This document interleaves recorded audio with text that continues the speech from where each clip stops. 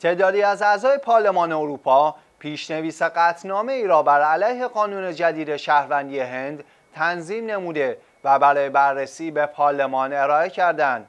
به گزارش شیوز به نقل از سیاست 154 نماینده پارلمان اروپا این پیشنویس را امضا کردند. قرار است بحث و بررسی این قطنامه روز چهارشنبه در پارلمان انجام شود و رأیگیری درباره آنها احتمالا روز پنجشنبه صورت خواهد گرفت. این قطنامه قانون جدید شهروندی هند را ناقض اصل 14 قانون اساسی این کشور و کاملا تعویض‌آمیز توصیف کرده است.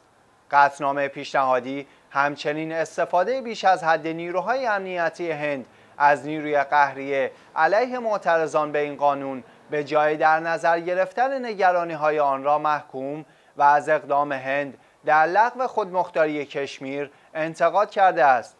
دهلی نو این اقدام پارلمان اروپا را دخالت در امور داخلی خود توصیف می کند.